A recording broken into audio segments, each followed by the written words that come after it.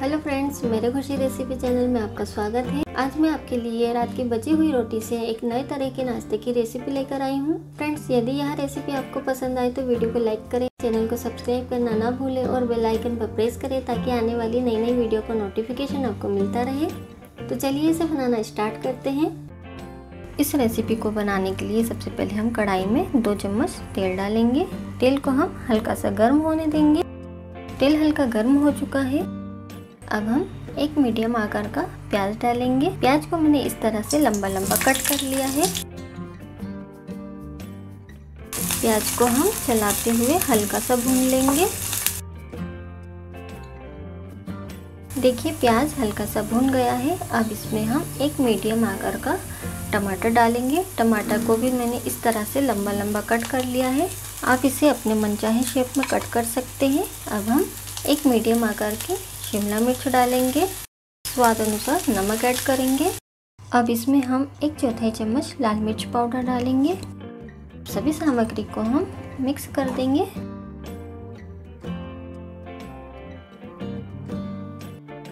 एक चौथाई चम्मच काली मिर्च पाउडर डालेंगे। अब सभी सामग्री को हम मिक्स कर देंगे और हल्का सा पका लेंगे। अब इसमें हम आधा चम्मच चाट मसाला ऐड करेंगे।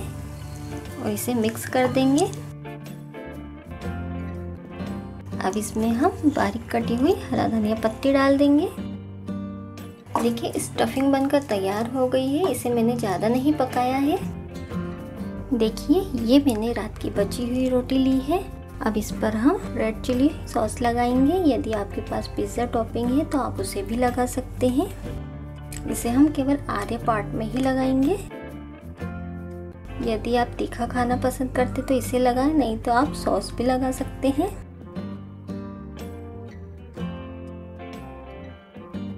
अब हमने जो स्टफिंग रेडी की थी, उसे रोटी पर फिल करेंगे।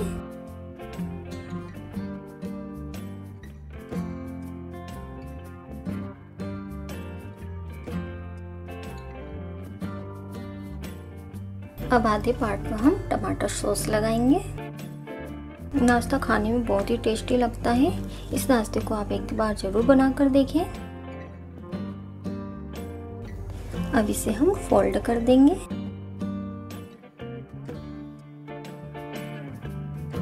अब मैंने किस पर तवा रखा है, तवे को हम तेल से ग्रीस करेंगे। अब तवे पर हम स्टफिंग भरी हुई रोटी को रख देंगे। गैस की फ्लेम को हमें लो ही रखना है। देखिए, मैंने दो रोटियाँ तैयार कर ली है। अब इसे हम धीमी आँच पर सेकेंगे।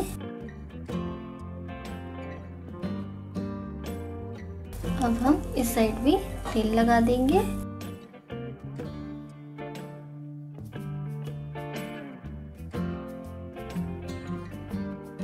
और रोटियों को पलट देंगे।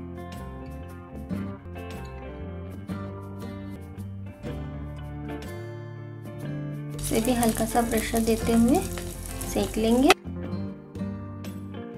जब भी आपके यहाँ पर रात की रोटियाँ बच जाए तो इस नाश्ते को एक बार इस तरह से ज़रूर बना के देखिए। यकीन मानिए, ये नाश्ता सभी को पसंद आएगा। अब हम इसे पलटा कर देखेंगे रोटी दूसरी साइड से सीखी है या नहीं। रोटी सीख चुकी है, अब हम गैस बंद कर देंगे और इन्हें प्लेट में निकाल लेंगे। बची हुई रोटी का नाश्ता बनकर तैयार है। जो भी इस नाश्ते को एक बार खाएगा, वो इसे दोबारा ज़रूर बनाने को कहेगा। फ्रेंड्स, ये रेसिपी आपको पसंद आए तो वीडियो को लाइक ज़रूर करें। साथ ही कमेंट्स करके बताएँ कि आपको ये रेसिपी कैसी लगी और चैनल को सब्सक्राइब करना ना भूलें। Thank you, friends.